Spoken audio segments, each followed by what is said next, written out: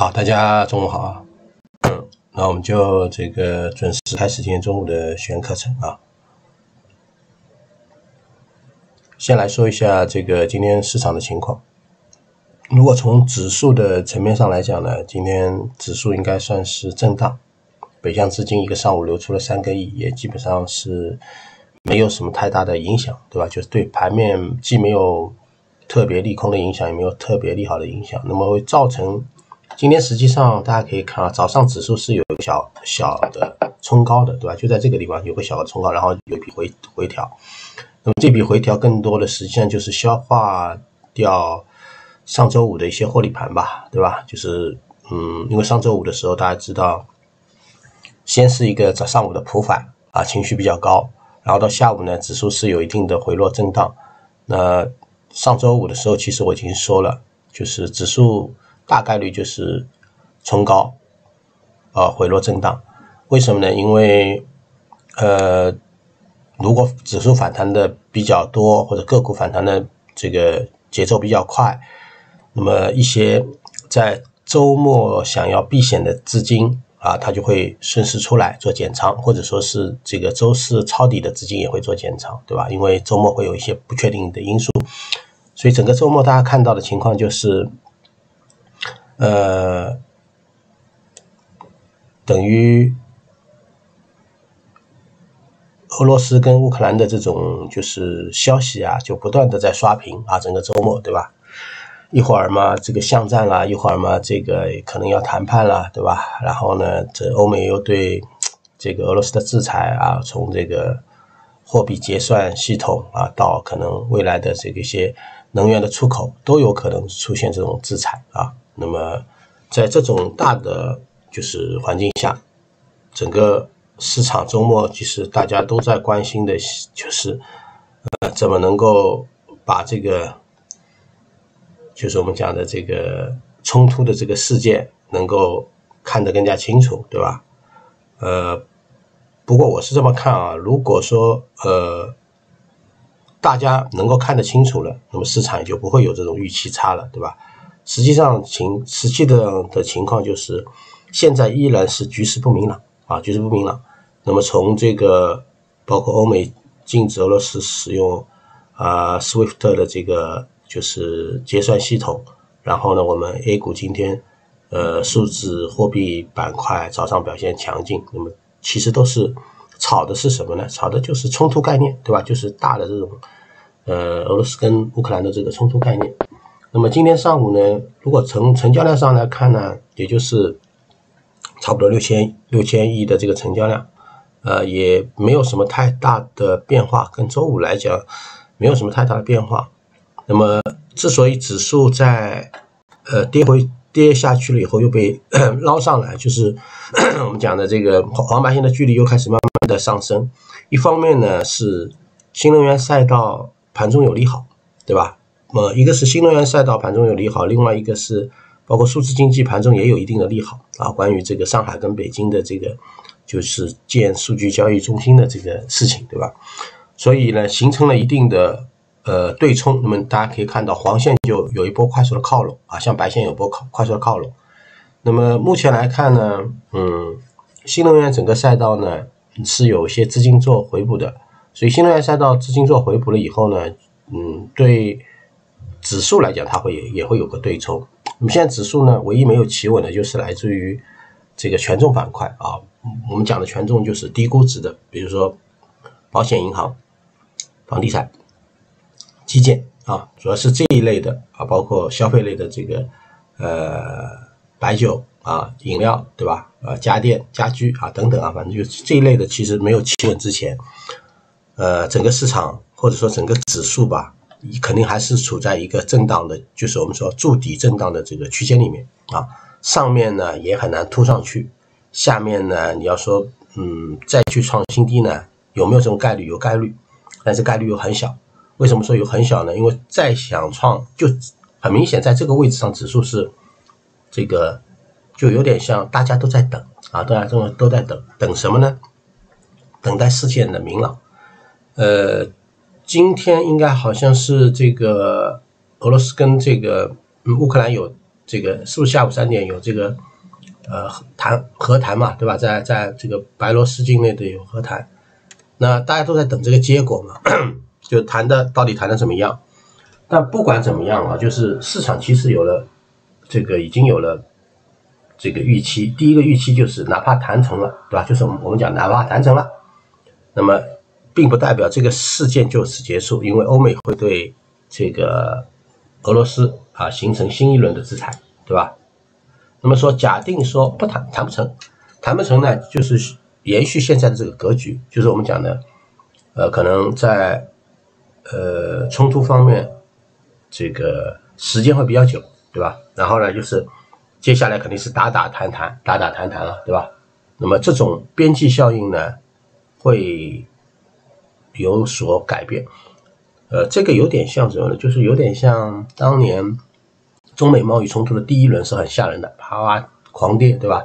到了后面呢，你会发现每一轮它开始这种影响、影响或者波及面会逐渐的呃减弱啊，边际效应会改善。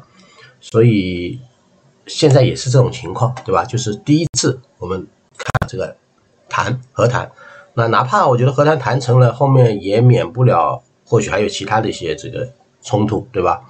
都会有。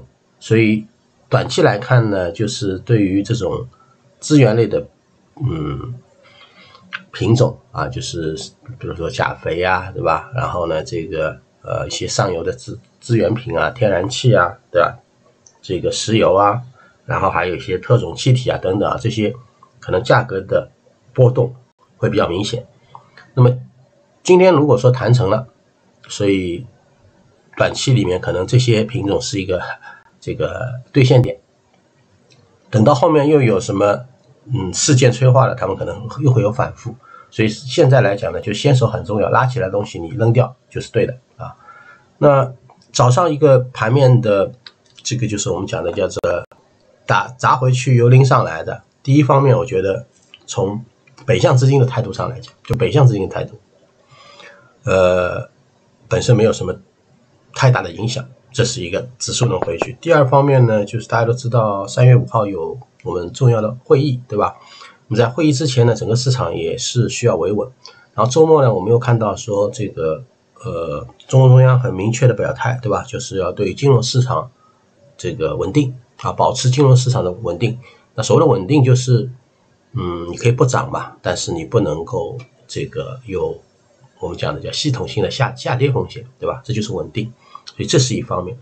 呃，还有一个呢，就是从盘面上看呢，就大家的观望情绪比较浓烈。今天很明显的一点就是追整个市场追高的意愿不强，就大家都不愿意追高，或者说追高的意愿并不强。那么表现在盘面上，就是表现在盘面上就是什么？就是很多个股没什么生气，就是随波逐流啊。指数回一回的时候，它也回；指数涨一涨，它可能也回个几分钱，对吧？就就大概这个情况。那么指数呢，包括在这一段的，就是就就第二小时这一段，就在第二小时这一段，它的这个波动率很小，就是很窄，波动率很窄。那么这就什么就说明大家观望情绪都很浓。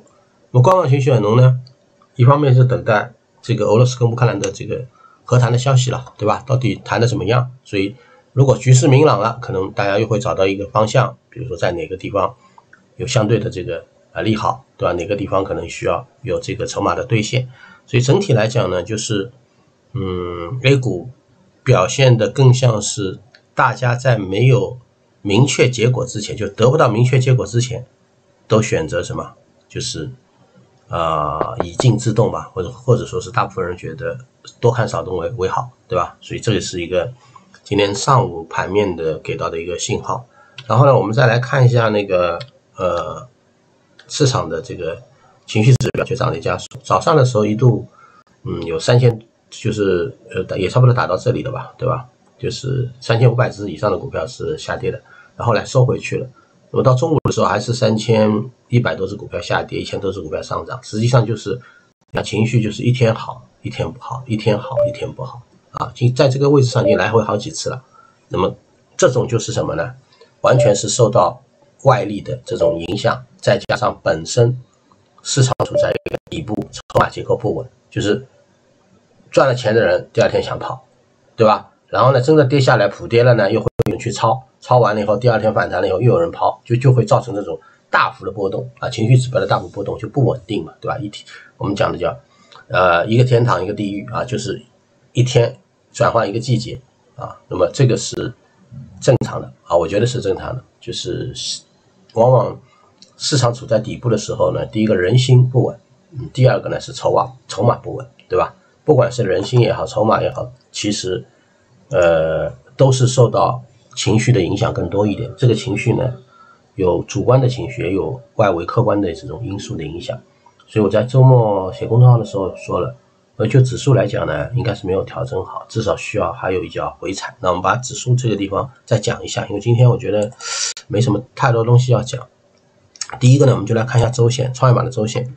因为创业板的周线呢，上周五碰五周均线下来，本周五周均线顺势下移，所以。哪怕你突破了以后，它还会有一脚回踩，对吧？就所以就是很简单，冲高以后就会有回踩，然后然后本周的目的就是，除非你能后面攻上八这个叫做五周均线给拉平，对吧？这是一个从创业板指数的角度上来讲。然后呢，我们来看一下上证指数，我们上证指数其实也是也是这样，因为上周我说了嘛，留了一根很长的下影线，就这根下影线很长，那本周至少要对下影线做一次确认。因为为什么说要做下影线确认呢？因为大家可以看这根下影线是创了前一根，这个就是三十一五的新低的，对吧？它最低达到三四零零，所以本周肯定会有一次确认。只有确认了以后再往上，那往上，呃，画一下，大概啊，大概画一下，那就是我说的，其实三千四百七十五点啊，差不多吧，三千四百七十五点这个位置。那么往上就是你要突破三千四百七十五点，就至少大阴线的实体的一半以上的位置，那么才能够什么？认为是这种回踩是相对有效的。所以在指数没有突破三千四百七十五点以上，我们都还不能确定说这脚回踩目前是有效的，就是这个回踩是有效的。那这个关于技术方面的东西呢，就是我来讲，然后我公众号上也写了，对吧？就写的时候可能不是太明确。但是我们课程当中呢，就跟大家分析一下是我是怎么来判断的啊。所以现在我们看到这脚回踩是出来的，所以这又又又又回到我们说我讲的，因为你在本周的时候还是要防一下什么呢？就是防一下指数的倒春寒。所谓的倒春寒是什么？或者市场的倒春寒就是这个一呃，就像这两天上海的天气对吧？周末的时候十几度，可能明天要下雨了，下完雨后可能又冷个两天对吧？所谓的倒倒春寒。然后呢，又开始热，就像情绪指标一样，一天热一天冷，一天热一天冷。所以这种情况呢，最好的办法就是，嗯，不要在呃反弹的过程当中上头去追，对吧？反过来呢，真的跌了以后呢，你倒可以去做做差价啊，就是普跌的时候倒是可以去做做差价。所以从指数的层面上来讲，它也是这种情况啊，也是这种情况，大家看的比较清楚，对吧？呃，什么时候放量突破？嗯，除了放量突破以外，还有一个我说的放量就不需要很大的量，就是正常，比如说成交量略有放大的突破就行，对吧？三四七五点。还有一个呢，就是 A 股的这个就是过过去到现在其实都没有改变一个规律，是什么规律呢？就当一轮行情，就比如说跌的比较惨的时候，就跌的比较多了，对吧？有这种跌的比较多了以后，它后面的修复。往往需要什么呢？就是至少权重股要企稳。所谓的权重就是我说的地产啊、银行啊、基建啊这类的，至少要企稳，或者说重新先反弹，把这个均线收复。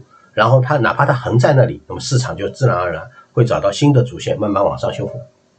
如果权重就是我们讲的地产、银行、保险这类的东西，它没有本身就没有在这个位置上依然没有止跌，或者继续再往下走，对吧？我我们来看一下啊，板块的情况。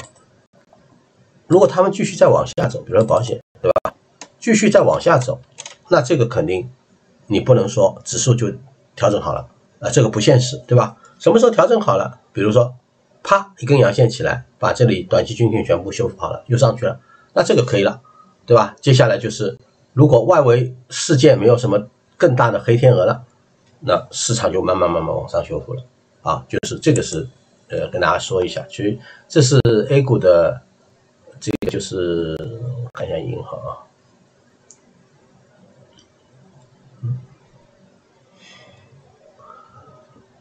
啊，都是一样的，对吧？就银行也是一样的，就是你要把均线修复，重新来啊。那么这次这是这个呃，看日线吧，那现在日线很难看，对吧？刚刚把保险看一下啊，就把均线重新给拉回来啊，那么就就可以了。那呃呃，这个叫什么？银行啊、地产啊、保险啊这些啊，这个工程机械啊，对吧？家电啊、家居啊，反正都算啊，嗯，建材啊，都算是这种相对估值比较低的。那么他们需要有一个嗯止跌啊或者重新回稳的过程，那么就预示着指数在这个位置上就调整的差不多了，或者说是指数在这个位置上就调好了，对吧？那后面可能就是呃权重大完台以后，那么有有主线的话是最好。能够有一轮主线领的话呢，市场就会走的比较规矩啊，或者说是会走的比较踏实。主线呃打高度，然后呢其他板块轮流做反弹啊，这就是最好的反弹了，对吧？就是我们讲的最好的修复的方式。那么差一点的修复方式呢，就是轮啊，没有什么太好的主线，就大家在那里，今天你来，明天我来，对吧？就是或者说是由于成交量不够，那么就是。低估值的跟成长板块，它就轮流来啊。可能低估值的板块涨的时候，指数变得更好一点；然后成长涨的时候呢，指数不见得有太好的表现，但可能个股的情绪会比较好一点。那还有一个呢，就是参考个股情绪，必须看券商啊，券商板块。如果当天券商板块，我指的是券商板块啊，比如说当天券商板块指数涨超过百分之一以上的，就券商板块指数啊涨幅超过百分之以上的。那往往预示着什么呢？就是市场整体的情绪不会差到哪里去。那么今天你看，券商板块还在创新低，对吧？就券商板块指数还在创新低，显然什么市场的情绪不是很好。所以呢，再加上东数西算的龙头这个美的云，对吧？今天开板了啊，今天也开板了。那么就基本上这种高标的都呃回落了，或者说是这个大家之前就是我们讲的。天天看着这些龙头，就是涨停的这个东数西算的概念，呃，出现了这个就是那龙头股的见底，那么也预示着情绪这情绪面这一块今天肯定好不到哪里去，或者说题材面这块跑不到哪里去。那么题材不好，权重也不好，那肯定要有一个好的站出来了。那么就是原原先的赛道赛道品种出现了反弹，对吧？所以这个就是在情绪，我觉得，呃。就东数西算没有进入到正式第二波的拉升之前，那么市场整体来讲，我觉得题材题材这一块找不到更好的替代替替代的方向，或者说题材这块呃没有更好的资金容量，那么市场自然而然会往赛道方面，所以赛道今天表现的好一点是呃比较正常的啊。那么接下来我们就重点看券商，就是我说的券商板块。嗯，不是说我一定要去买券商股，而当你看到券商板块如果涨幅超过百分之一以上了啊，某一天啊，比如说后面两天某一天，那么你就知道当天来讲肯定市场情绪不错的，而且同时券商板块嗯能够涨的那一天，往往个股是涨多跌少的，或者说类似于有普涨可能性啊，这是券商跟银行跟保险的区别啊，券商更多的代表着市场的情绪跟弹性。而银行保险更多的代表权重估值以及它的整个对于市场的稳定性，好吧？呃，讲这个呢，我花点时间讲讲这个。今天我们反正课就花点时间讲讲，嗯，其他的方向吧。啊，不是其他的方向，我觉得是其他的方面。那今天我讲一下那个吧。呃，本来我想放到后面的课上讲，因为今天没有什么东西讲，就提前放上来讲。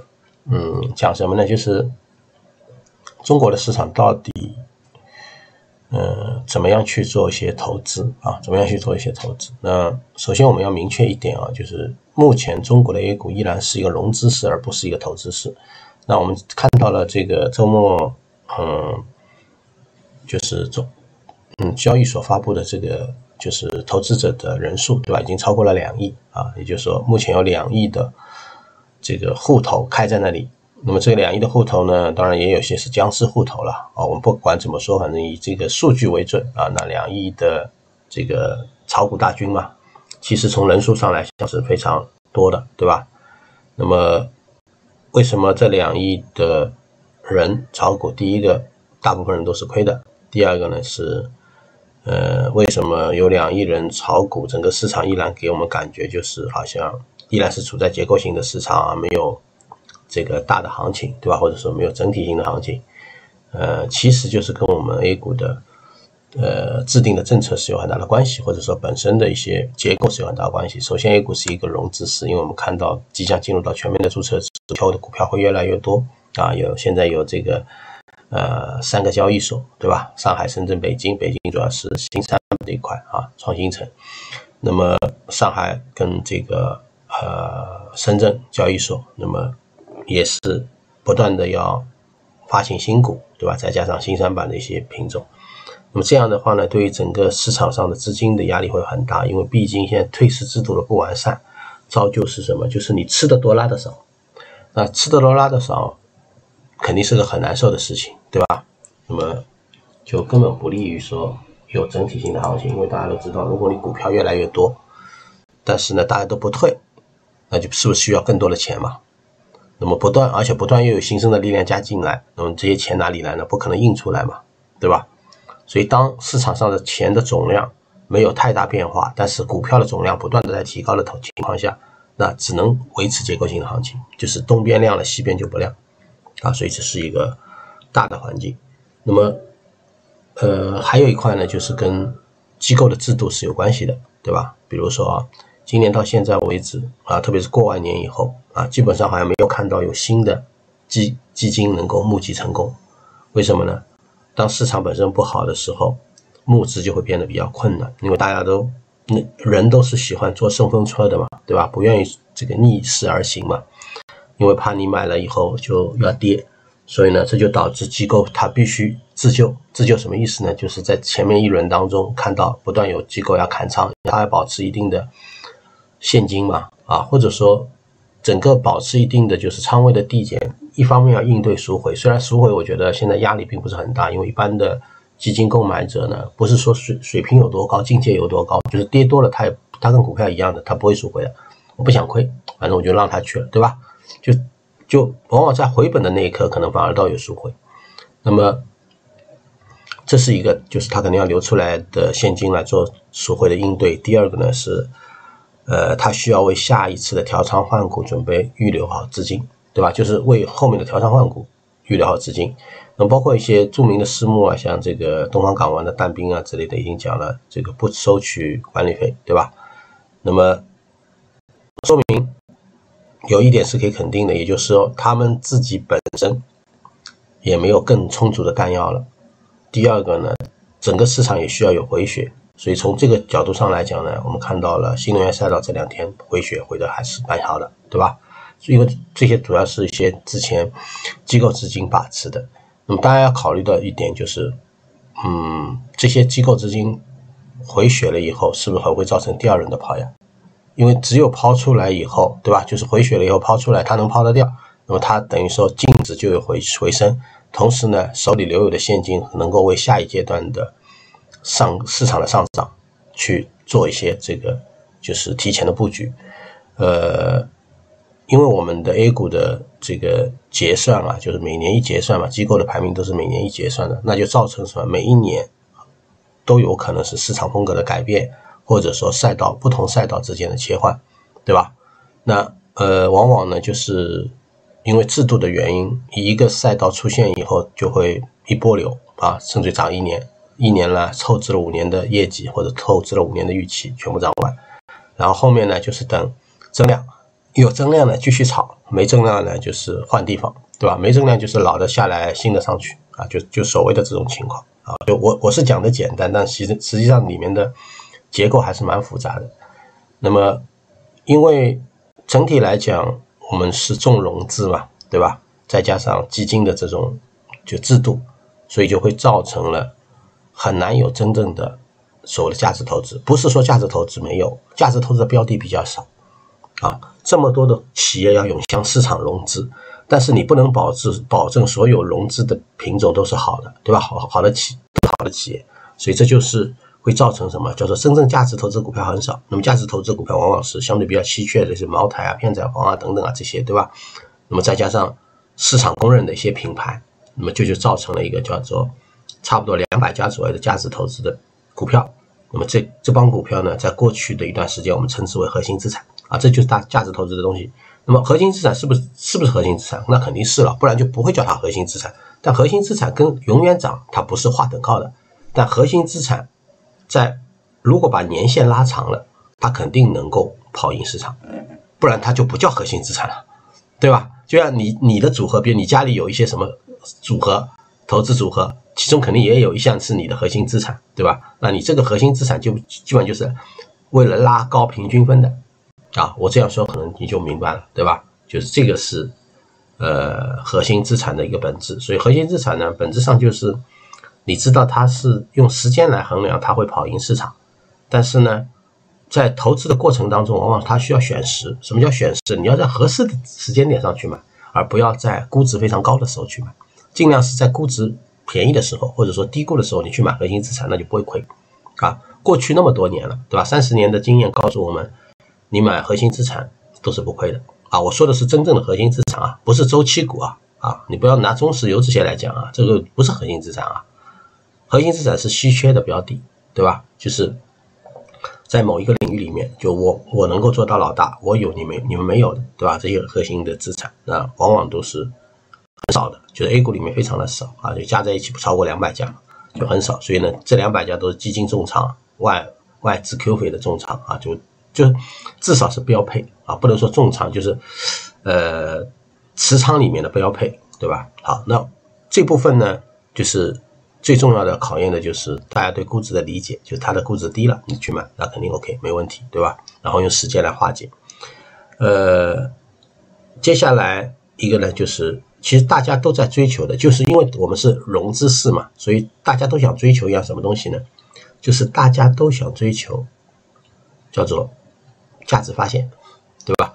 那么价值发现呢，我个人的理解是这样啊，就是我们简单讲一讲价值发现两种，呃，价值发现都是在上市以后你才能发现，它不上市不能发现嘛，对吧？一种呢就是次新的品种，就是上市了以后这个。首先，它募资了嘛，募完资以后，这融到资了以后呢，它要做扩展。这个扩展呢是两方面的扩展。第一个是什么呢？就是扩产啊，扩产。那么在原有的基础上，它扩产。扩产的目的是什么呢？要要有增强它的市占率。本来它的市占率，比如说排名是这个全中国第三的，那么因为它扩产了以后呢，现在排名是全中国第二了。当然，随着它的扩产，那这个市占率排到第二了，相应它的。这个就是我们讲的利润率就提高了，对吧？或者说它的这个净利净利润每年的净利润就会有增加。那么这种呢，实际上往往来自于一些可能相对呃，就是不是那种特别高高精高高精尖的一些这个呃企业，那这种或者说类似一些消费的啊，都都有可能，对吧？那么这个呢，实际上你赚的是什么钱呢？当你发现这家公司拿了钱去扩张的时候，就当你发现这家公司拿了钱去扩张的时候，其实你就是做了一次价值发现。然后你赚的是什么钱呢？你就是赚的企业从小到大的过过程的钱，就是从一个小企业变成一个大企业的这个呃这个钱。然后呢，随着市占率的扩张，对吧？它的这个就是我们讲的。呃，业绩也非常的好，所以本质上其实你你也是赚业绩的钱，但是呢，更多的是就是，呃，这家公司就是我们讲的叫主因没有什么变化，然后呢，这个只是你赚取了它市场更大份额的这种钱，就像你原先投了一家呃面店，对吧？我举个例子啊，比如说现在比较这个比较流行什么午夜拌面啊，对吧？这这个马永记啊，对吧？这种这个这种这种这种。面馆嘛，做连锁的，其实就是你原来投了一家面馆，后来它就裂变了，就变得很大，变得很大以后呢，就是整整个占领了很多的市场，对吧？原来可能是只是从一个地方，所谓的价发现嘛，就原来没有人发价，它只是一个区域的的某一个地区哦，人家说哦这家面馆不错的，但是呢，全中国没有人听说它，都大家不知道，比如说我根本就不知道这家面馆，比如他这个面馆是在兰州的。但我怎么知道？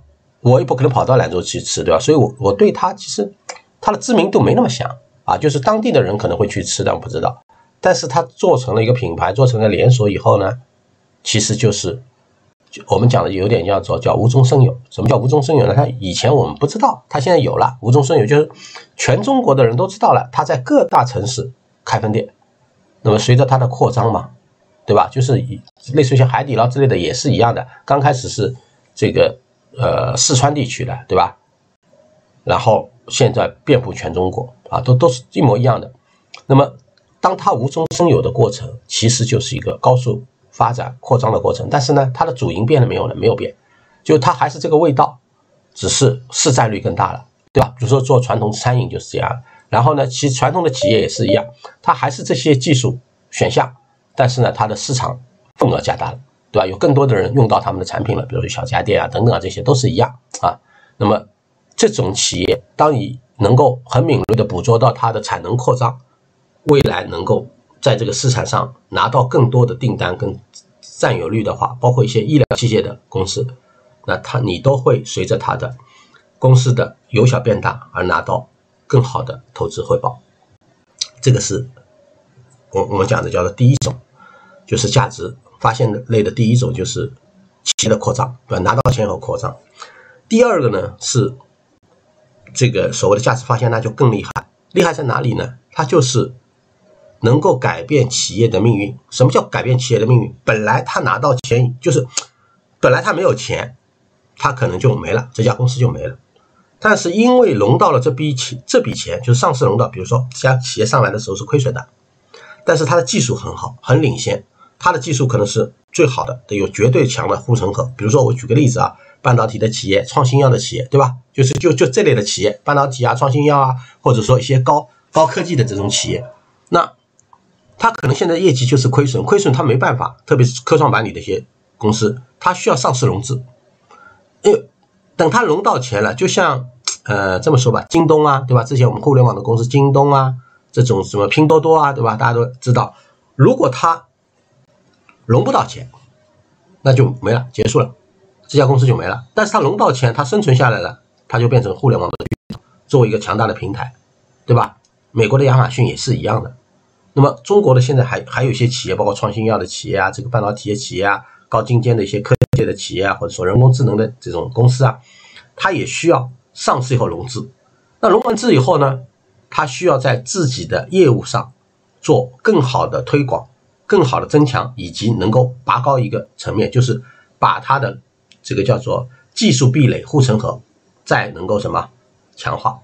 然后呢，因为有了这个烧钱的资本啊，或者说是这个能让钱烧得更久一点，打败其他的竞争对手，对吧？或者说让这个研发的团队能够更上一层楼，最后能够。让什么技术转化成这个盈利，就是有点像叫做技术成果市场化，最终就是能够让它的这个技术成果变成市场化的东西，大家都能接受，老百姓都能用，或者说企事业单位都能用，那么它就能够拿到足够的利润。就像创新药一样的，刚开始的时候投入研发，那投入研发都要钱的呀，直到研发成功，它能最终推向市场，那么所有的患者来买单，所以这是第二种。那么第二种往往要比第二种呃第第一种的这种价值发现更暴利。什么叫更暴利呢？因为它从亏损到这个技术刚开始的时候没有在市场上被应用，这有点像从零到一嘛，对吧？第一种是一到十的过程，第二种是零到一的过程。那么往往零到一的爆发力是最强的，对吧？刚开始是也是一样的，没有的，对吧？然后它能够这个。让大家接受，那么零到一的过程往往是暴利阶段啊，很暴利的。比如说，就像呃投企业一样的，零到一的过程，可能你刚刚买这家公司啊，我举个例子，它可能你买的时候，它也就是五六个亿的这个五六个亿的估值吧，就是我们讲的，就是可能总呃这个流通市值也就五六个亿，因为它很小嘛，但是呢。可能也是不怎么盈利，一千多万，甚至还是亏损的，对吧？净利润，但突然之间，他那个东西搞出来了，推向市场了，拿到大量的订单，那么从零到一的突破了，这个突破的过程可能就是从五个亿直接晋升到一百个亿，对吧？或者六个亿晋升到一百个亿，它的估值，那这个过程是很暴利的，一下子就翻了十几二十倍，对吧？那么如果他还能够继续。就是我们讲靠着这个嗯强大的护城河能够延展，就是从零到一，然后一又向十突破的时候，那这家公司就厉害了，那它很有可能从一家这个十个亿以下的公司晋升为一家未来晋升为一家这个上千亿的公司，对吧？上千亿的企业，所以这种价值发现就是第一种的价值发现，我说的就是从一到十，你只能享受企业扩张带来的红利。但是第二种，你能够享受两个阶段，第一个叫做零到一的过程，就是从没有到有；第二种是什么？你能够产生它从这个呃一到十的过程。我举个例子啊，比如说氢能源，氢能源的第一波上来，很多股票也翻倍也大涨，对吧？那么大家享受的是什么呢？其实就是一个叫做零到一的过程。现在这个零到一的过程有没有有没有结束？没有结束。为什么说零到一的过程没有结束呢？因为现在氢能源的技术还不是很很这个，呃，怎么说，就是还不是很成熟，很多的氢能源的这些东西还在不断的改进，对吧？还在不断的探索当中。那么等到氢能源，就像等等到未来的氢能源能够像现在锂电池那么成熟的时候，自然而然零到一的过程就跨过去了。那么也就是说，很多的可能氢能源那些企业都是百亿级的企业了。那么到时候呢，当氢能源有国家政策，又类似现在锂电池配套，就国家大力发展氢能源，整个氢能源开始有渗透率的时候，就是零零到一，一到十的过程，对吧？就像现在新能源汽车不断有渗透嘛，要替代老的燃油车嘛，这个过程，那么就会诞生千亿级甚至于万亿级的企业。所以大家可以想象一下，对吧？所有的价值发现都是这样去发现的，就它分成两个不同的维度。第一种呢，相对简单，就你能看得到它，你你在它的财报里面，你在它的公司公告里面，都能知道他拿募资的钱以后去干什么了，他投了什么东西或者收购了什么东西，对吧？就很很这个呢比较容易做。第二种很难，第二种做不好巨大的亏损啊，做好了可能也是巨大的利润，就是呃净值的正反两面，有好也有不好。比如说创新药，因为谁也没有办，因为不是你自己研究嘛，所以你只是说。是一个局外人，你是赌这家公司最后能成，对吧？如果它不成呢，那你就结束了。当然，从二级市场上来讲，不是结束，可能你就有有产生亏损。如果从一级市场的角度上来讲，那就可能这个你的投资灰飞烟灭，对吧？就是打水漂了。所以呢，这个呢是有难度的啊。一家公司如果最后从这个就是我们讲的叫做烧钱，然后到有盈利。你需要对一个行业有很好的前瞻性的判断。第二个，你要对公司不断的有加以这个研究，它到底能不能成功，对吧？到了哪个阶段了？现在市场的接受度什么样？还有什么？它后面有没有更大的追兵？有的时候是什么？你你也在研究，别人也在研究，结果呢，你花了巨资，但没用。你还没搞出来之前，有人先搞出来了，那你完蛋，对吧？所以这些东西都很重要，就是它的技术含量怎么样，护城河怎么样，它的这个。整体对于市场的贡献，未来的这个贡献怎么样？能够比如说产品推向市场的时候，能够产生多大的利润，能够有多少的市场的这个占有率？所以这些东西都是很专业的，其实很专业的，对吧？所以第二种是很难的，第二种你要赚到大钱，它需要对你的认知有很强的这种就是专业性。那第一种不是很难，第一种往往都在公告里面能够看到，对吧？它到上市公司老是有公告的。对吧？现现现在这个进入到什么阶段了？我扩产以后要投入什么了？所以这两种价值发现发现其实都可以用啊，都可以做。但是第二种的难度非常的高，所以这就是为什么说有的时候第二种就是你要有第一个要有足够的耐心，因为做长线不是那么容易的，对吧？呃，还有一个呢是要有这个足够的一些忍耐度。就是比如说我买一个次新股，我很看好它，那就是你要让你的成本做的足够低，能够抵御市场带来的波动，最后可能因为你拿住了才能赚大钱嘛。大家都知道，拿得住你才能赚大钱。我我这么说吧，就是呃，这个收藏界里面有一句话叫收的人不算有本事，藏的人才叫有有有水平。什么意思呢？就你把东西收来以后。你最多能卖个差价，比如我五万的东西收来，我有看上我六万卖给你，你愿意要，那当然就是六万了，对吧？就是就是六万块钱你卖掉，你赚了一万块钱，所以这叫收的人，收的人的眼光很好，眼力很好，他能赚差价。但真正有本事的是藏，你有本事藏个十年，就你你东西买回去后你藏个十年，但东西肯定要好嘛，对吧？就说你藏十年，可能你十年以后卖出去的时候就上百万了，那叫不这差价就不是一万块钱的差价了，对吧？所以道理都是一样的，就你价值发现也是啊，也是这个呃因素，就最后你能够拿得住，你才能赚大钱，拿不住你肯定赚不了大钱的，对吧？这就是为什么短线呢不一定会套住你，但是呢，呃，长线可能会这个过程会会让你非常难受，但一旦这个长线的东西爆发了，可能你所有的回报就是在这一刹那出现了。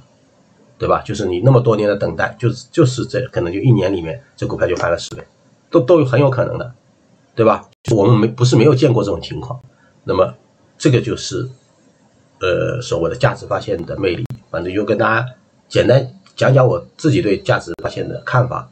那因人而异，对吧？就是因人而异，没嗯没有相同的投资，每个人都是不同的个体啊，所以你自己仅供参考。那么当你发现。当你有想做价值发现的时候，你要看一下手里这些标的，到底符合哪一种，就第一种还是第二种，好吧？那今天反正就是跟大家讲讲这个，呃，中午讲一下这个价值发现到底是怎么回事，对吧？价值投资跟价值发现还是有点不一样的啊。那么，然后我们就回到这个呃市场啊，回到市场。今天盘中呢，就是一个是新能源汽呃这个新能源赛道啊，就就锂矿啊之类的这些，对吧？这个。啊，锂电池之类的啊有表现，然后呢，呃出现了上涨，跟这个呃消息面的刺激是有关系的啊。第二方面呢，就是来自于呃就是呃北京、上海啊这种数据呃交易所的这个成立，对吧？那么也刺激了这个就是一些呃东出西算的这个个股吧。反正从呃一方面刚刚讲了，美绿云是开板了，还有呢像那个。叫什么？易米康，易米康其实最近走的还是很强的，现在依然维持在五日均线之上，对吧？今天依然五，所以有第二波的话，我就说啊，这个东数西算，我觉得肯定会有第二波。有第二波的话，至少一米康是不会缺席的啊，不会缺席的。像一米康这种是走的很强的，对吧？然后呢，这个首都在线已经有资金开始尝试往上打了，对吧？这早上就有资金开始尝试打，就是那个，就是跟这个北京的这个数据交易所是有关系嘛，对吧？所以呢，呃，缺点呢，就这个股票的缺点是什么？上方的套牢盘比较严重。第二个呢，上来的时候没有什么换手，所以一般往往呢反抽五日均线第一次很难过，它需要有筹码的沉淀。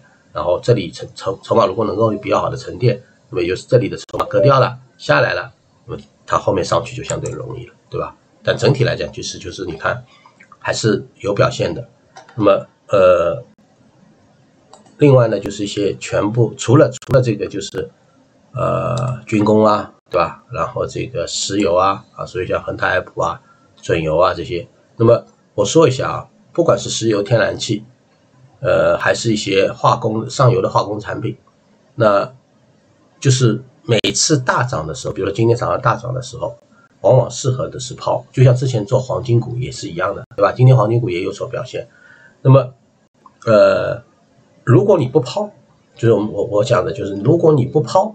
那么很有可能，短期今天涨了，明天又回去，对吧？那么这个呢，就是完全根根据这个呃国际事件的这个动态发展，对吧？可能这个事态又不好了，那可能这些东西啪又涨一涨，然后缓和了一下，又又回落了啊。所以这个节奏你自己去把握，反复呢肯定会有，因为为什么呢？因为从从后面。这个欧美国家对俄罗斯的制裁来讲，这些东西肯定是反反复复的，因为俄罗斯也是能源出口大国嘛，对吧？不管是天然气、石油啊，都是一样。如果它真的制裁了以后，那这些东西，石油很快就飙到一百美金以上去了，对吧？这个这个毫无疑问的。那么这种呢，就是会影响整个的大宗以及大宗的上游，对吧？包括你看最近的这两天，什么磷磷矿啊，对吧？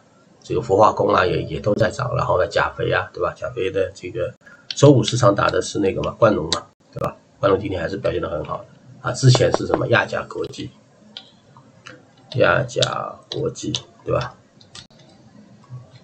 啊，亚甲国际因为前面涨的比较多，打了上影线，今天没冲过去，那这里可能要稍微修修整一下啊。呃，这个是从嗯军工里面也包括船舶嘛，对吧？啊，如果说我说了，如果石油涨的话，煤炭依然还是会涨，因为这个就是跟煤化公司有很大关系，因为中国相对来说是。石油相对匮乏，然后煤炭相对这个资源多一点啊。化工呢，主要就是涨的上游的事情啊。这个这个像湘潭电话就是那个锰啊，对吧？今天涨停了啊，锰矿对吧？就是这种有矿的。然后呢，那个呃，大家就看呃，最重要的就是看这个叫高标的中矿资源嘛，对吧？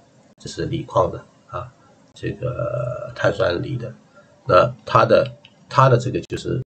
不断的新高，我们之前我之前在这个呃公众号上写过的，如果它是不断新高的，那就意味着整个锂矿、锂电池的这些上游啊都还有空反弹的空间啊，反弹空间。我们再加上特种气体，像这种华特气体啊之类的，就是都是属于嗯这个矿产矿产的这个上游资源，对吧？呃，还有一个呢，就是那个叫什么，嗯。新冠，新冠这一块，对吧？新冠这一块呢，主要是跟香港地区的新冠疫情是有很大关系的。一方面呢，检测类的，对吧？需求突然之间的放大，就是香港全全员这个核酸检测嘛。另外一个呢，就是呃特效药，对吧？像这种三零零幺九九啊，汉语药业这个盘中都有大涨啊，有特效药。那么这两块呢？呃，短期来看，就是从短期的角度上来看，依然还是会反反复复，因为除非新冠疫情的呃人数出现递减，然后呢，我们也看到国内呢也是一样啊，这个北京啊、上海啊都有零星的这种呃人数，然后呢，呃，深圳啊那边对吧，就是广州啊那边可能人数更多一点啊，那么这是这个从呃新冠的呃疫情线路上来讲呢，我昨天也讲了，对吧？既然这波新冠疫情走了是超预期的，那么肯定既然是超预期，那后面肯定还是有高度。所以今天你看又又表现了，对吧？呃，其他的就没有什么太太好的。那么讲一下像数字货币这种呢，主要主要就是短期消息的刺激。那么两个二十厘米加上今天其他冲高，呃，今天你就不要去追了，今天再追没有什么意思，对吧？后排的不要去追，很容易就是后排的很容易这个明天一回落就。又又又出现亏损了，黄金呢其实也是一样的，对吧？你看西部黄金就最简单，黄金就是龙头，那对吧？那天涨停嘛，对吧？第二天就低开，啊，如果你在低开的时候或者说去低吸的话，那么今天就享受到利润。所以你每次那这也是涨停，第二天低开，应该是对吧？涨停第二天低开，低开你去买潜伏，你就能吃到涨停加冲高，对吧？就是大概这个意思。所以，呃。如果龙头都是这么鲜明的特质，那么其他后排的更加是一样的，就你不用考虑说它涨的时候你去追是最不划算，对吧？很有可能，呃，说它今天有有下午有谈判缓和的迹象了，那可能黄金就回落了晚上，那明天又是个低开，对吧？那么培育钻石呢，呃，也是一样，培育钻石最近因为是天然钻石的涨价，导致培育钻石大家觉得。未来的渗透率会更高，对吧？那么这样的话呢，就是包括培育钻石的价格也会同步的上升。那这样，培育钻石的板块的个股就反弹的比较厉害啊，类似像这个叫什么黄河旋风，对吧？连续阳线往上走，对吧？呃，还有一个题材，今天就是呃有两只个股说是出现了高送转，一个是力量钻石，对吧？力量钻石的高送转，看一下啊。是钻石，但是市场好像不太认可，高开低走，说明什么呢？现在高送转这个东西呢，已经不太流行了，或者说不太有人愿意为高送转去买单了，特别是高价股，对吧？要做高价，所以呢就会出现这种情况。这是一家，另外还有还有一家是做医药的，对吧？呃，那个叫易俏神州，对吧？易俏神州也是的。十送九吧，应该是今天也是的，高开，对吧？回落然后震荡啊，它还算强一点啊，它还算强一点。呃，原因是什么？位置低啊，原因是位置低，但整体来讲不算很强，因为按照以往的话，这种就至少有一个板的空间嘛，对吧？百分之二十总要给你的，那说明什么？就今年来讲，到目前为止高送转并不受特别的欢迎。但后面看看管理层的态度吧，因为现在是十送十、十送九，会不会有超过这个限限度的，对吧？比如有超送十送十二的，那还差不多。另外还有个现象，就跟大家讲一下啊。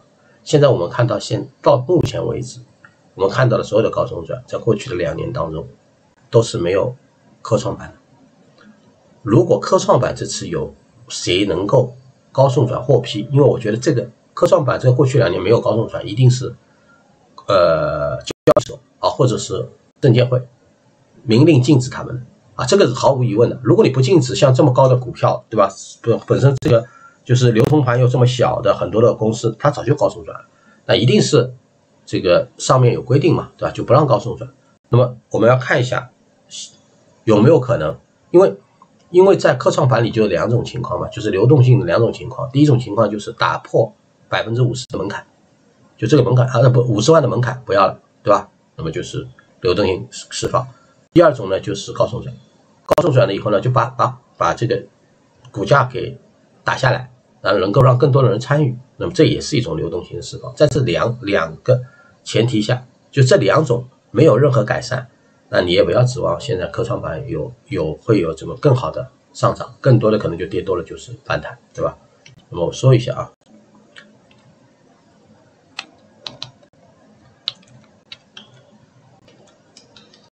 科创板，科创板呢，反正你要如果。做定投的话没问题，因为定投是时间换空间的，对吧？定投呢，我说一下吧，就是以现在一千两百点嘛，我就拿一千两百点做一个中轴线啊。那么一千两百点每跌百分之三以上，就差不多就是跌个这个四十点左右吧，对吧？四十点不到嘛，就跌百分之三，我要求跌百分之三嘛，就三，比如一千两百点就三十六点嘛，对吧？也就是说差不多四十点左右，如果每次跌，不管是一天。还是累计两天三天，每次跌百分之三以下，就是跌到四十点嘛，跌个四十点，呃，百分之三以下，你就去做一次定投。那以前定投的就算了，你就以前有的定投，那你就说没钱了，那就拿着。就新新的想来定投的，就是我以前没有定投过，现在想要定投，对吧？那比如说你准备十万块钱做定投，把它分成五份，每次两万块钱嘛，对吧？简单嘛。跌三十个点或者跌就就是跌百分之三吧，我不说三十个点，就百分之三四点左右，你就买两块两万块。那我说的是你十万块的本金啊，就买两万块啊，你准备买十万块就两万块，再跌百分之三再买两万块，一直跌到你没钱，就是你买完五份买完或者四份都可以的。那么基本上如果按照这种来定的话，你就是指数要到一千点以下去了。